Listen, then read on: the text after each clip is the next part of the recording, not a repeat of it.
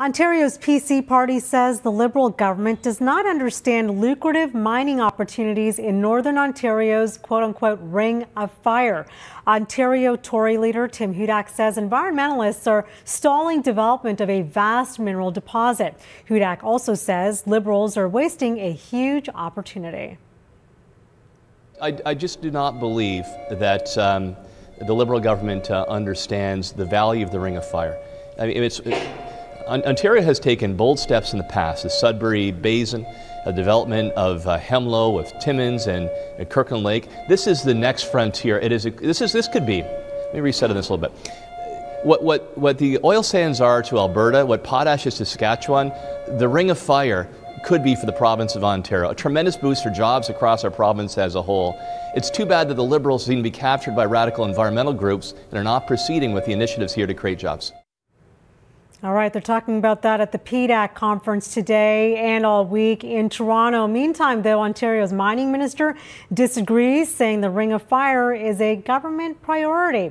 All right, if you think Ontario's mining rules are getting tougher, Manitobans say you're telling us. They've been feeling the fallout for quite some time now. Let's bring in Nicole Dubé from Winnipeg, who has more on this side of the story. Nicole.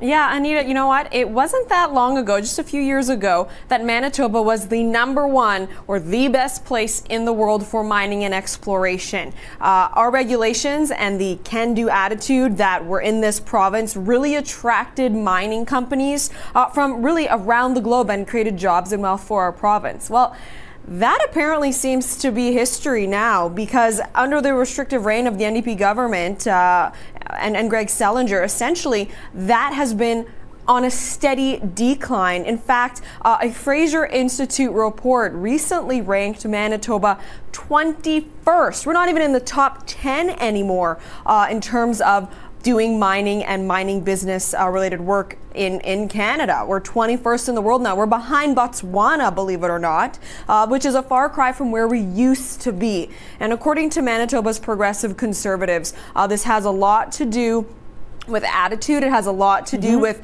poor government policies, uh, and it has a lot to do with business taxes that just aren't attractive for those mining companies when they're looking, okay, where where on the planet do we want to invest? Manitoba used to be a, a place they wanted to be.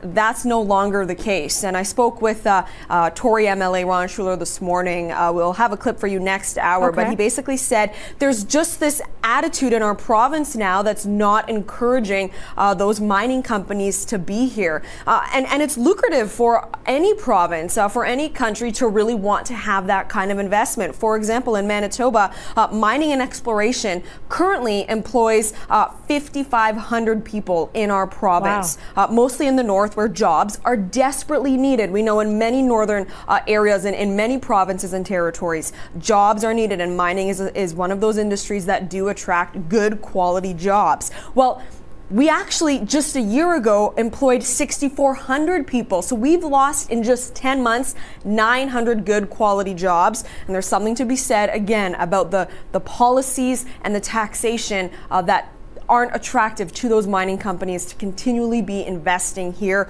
Uh, so this is something that we're going to be uh, further exploring uh, today uh, as we discuss this issue, Anita. All right, uh, certainly big, uh, big topic and a lot to discuss there. Thanks for this, Nicole. You're welcome.